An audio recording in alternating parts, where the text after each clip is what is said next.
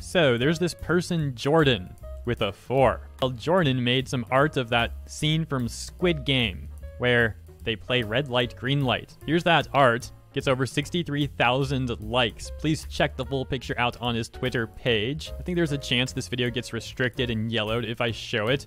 And I've been posting too much lately. I gotta secure the bag. I want to talk about the salt anyways, though, so we'll take a look at that. Thank you, Dee, for the numerous tags here. Good stuff. One person even blocked me, which makes this even more comedic. This tweet has around 5,600 likes, complaining about the drawing and that it got over 50k likes.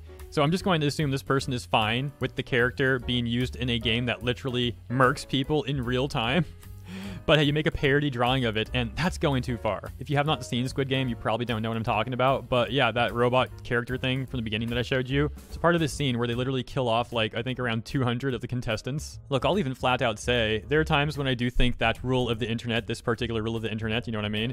It can be too far or like creepy, but it's just a rule of the internet. It is what it is. And people getting salty about it, that's probably always going to be amusing to me. Most of the time with situations on the internet, I'm not a part of any side. I just like watching the madness unfold. And here's the tweet to the person that blocked me. I don't even really know what their point is here, but I just think it's funny because after I got tagged, they got all mad. Trying to tag that freak show. Well, you know, you can say whatever you want, but the fact is the tag worked and your block didn't. Anyways, there's plenty more salt in the quote tweets. But I think the one that I showed you earlier with over 5k likes, I think that was the one with the most likes. So I'm just going to leave it there, keep it short and simple. And again, if you want to find more of the stuff, just go to Jordan's Twitter. It's uh, Jordan with a 4 and then an underscore. Haven't posted as much lately as I'd like to, so I'm going to try to get a third segment out and get right to it. Thank you for tuning in, and I'll see you in the next one.